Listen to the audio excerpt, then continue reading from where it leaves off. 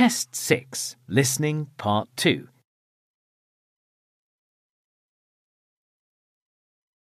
You will hear an art student called Ella giving a talk about the history of mirrors. For questions 9 to 18, complete the sentences with a word or short phrase. You now have 45 seconds to look at Part 2.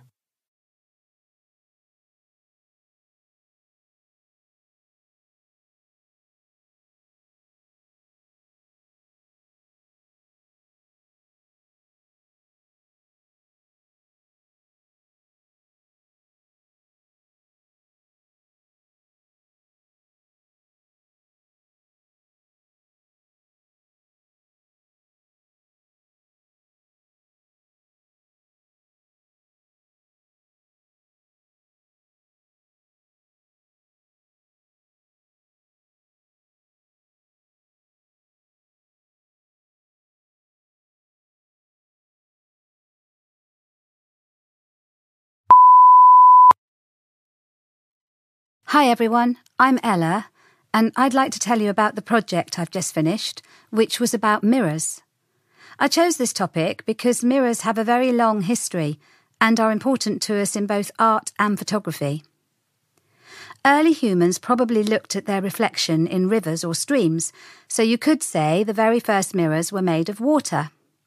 The earliest man made mirrors were cut from stone, and I went to look at some of these at the Ancient Treasures Museum, which was a really exciting way to begin my project.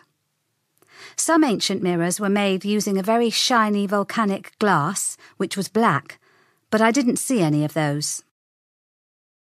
The museum has a room filled with ancient Egyptian objects, including a collection of mirrors. They were flat, round discs, and I had to pick them up wearing gloves to keep them free from scratches. They were made of polished copper and attached to handles, which would have made them easier to use. Despite being 4,900 years old, I could sort of see my face reflected. Elsewhere in the museum, there were mirrors from ancient Rome, Japan, and China. They must have taken ages to make, as every single one of them had symbols carved on them. I couldn't decide if these illustrations represented nature or possibly love, but I later learnt from the museum's researcher that they symbolise beauty, something that we in the art world are very concerned with. The researcher lent me a book that contained pictures of early mirrors that have been found in different parts of the Roman Empire. No matter whether they were made from copper, gold, or silver, they were really small, less than 20 centimetres in diameter. It occurred to me this must have been due to the cost of the metal but then I read it was actually a question of weight, which made complete sense. However, when I did some research online, I discovered that not all mirrors were small, and fragments of much larger mirrors have been uncovered.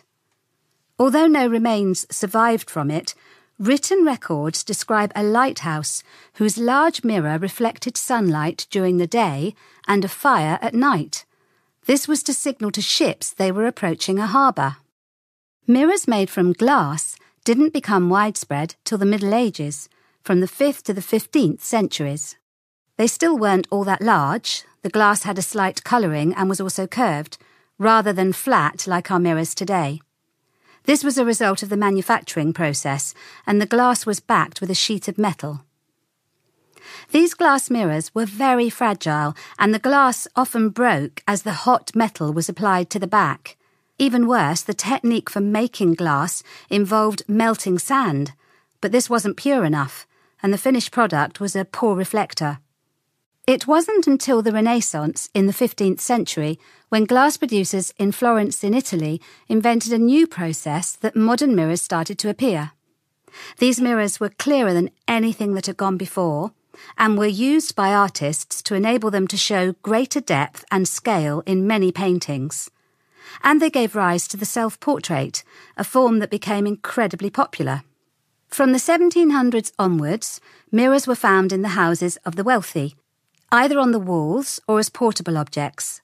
Round, square, and oval mirrors were also added to furniture and decorated with patterns that matched textiles and floor coverings. Mirrors today are produced by fixing a thin layer of aluminium to a piece of glass. But this process was actually based on one developed by a chemist. He got his assistant to coat glass with a thin layer of silver in his workshop in Germany in 1835, and this made it possible for mirrors to be produced commercially by factory workers. For the first time in history, ordinary people could afford a mirror.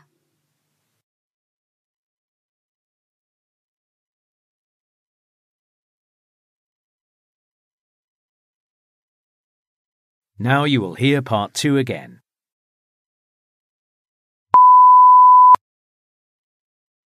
Hi everyone, I'm Ella, and I'd like to tell you about the project I've just finished, which was about mirrors. I chose this topic because mirrors have a very long history and are important to us in both art and photography. Early humans probably looked at their reflection in rivers or streams, so you could say the very first mirrors were made of water. The earliest man made mirrors were cut from stone, and I went to look at some of these at the Ancient Treasures Museum, which was a really exciting way to begin my project. Some ancient mirrors were made using a very shiny volcanic glass, which was black, but I didn't see any of those. The museum has a room filled with ancient Egyptian objects, including a collection of mirrors. They were flat, round discs, and I had to pick them up, wearing gloves to keep them free from scratches. They were made of polished copper and attached to handles, which would have made them easier to use. Despite being 4,900 years old, I could sort of see my face reflected. Elsewhere in the museum, there were mirrors from ancient Rome, Japan, and China. They must have taken ages to make, as every single one of them had symbols carved on them. I couldn't decide if these illustrations represented nature or possibly love, but I later learnt from the museum's researcher that they symbolise beauty, something that we in the art world are very concerned with. The researcher lent me a book that contained pictures of early mirrors that have been found in different parts of the Roman Empire. No matter whether they were made from copper, gold, or silver, they were really small, less than 20 centimetres in diameter. It occurred to me this must have been due to the cost of the metal but then I read it was actually a question of weight, which made complete sense. However, when I did some research online, I discovered that not all mirrors were small, and fragments of much larger mirrors have been uncovered. Although no remains survived from it, written records describe a lighthouse whose large mirror reflected sunlight during the day and a fire at night. This was to signal to ships they were approaching a harbour. Mirrors made from glass didn't become widespread till the Middle Ages, from the 5th to the 15th centuries. They still weren't all that large, the glass had a slight colouring and was also curved, rather than flat like our mirrors today. This was a result of the manufacturing process, and the glass was backed with a sheet of metal. These glass mirrors were very fragile, and the glass often broke as the hot metal was applied to the back. Even worse, the technique for making glass involved melting sand, but this wasn't pure enough, and the finished product was a poor reflector. It wasn't until the Renaissance in the 15th century when glass producers in Florence in Italy invented a new process that modern mirrors started to appear. These mirrors were clearer than anything that had gone before and were used by artists to enable them to show greater depth and scale in many paintings and they gave rise to the self portrait, a form that became incredibly popular. From the 1700s onwards, mirrors were found in the houses of the wealthy, either on the walls or as portable objects. Round, square, and oval mirrors were also added to furniture and decorated with patterns that matched textiles and floor coverings. Mirrors today are produced by fixing a thin layer of aluminium to a piece of glass but this process was actually based on one developed by a chemist. He got his assistant to coat glass with a thin layer of silver in his workshop in Germany in 1835, and this made it possible for mirrors to be produced commercially by factory workers. For the first time in history, ordinary people could afford a mirror.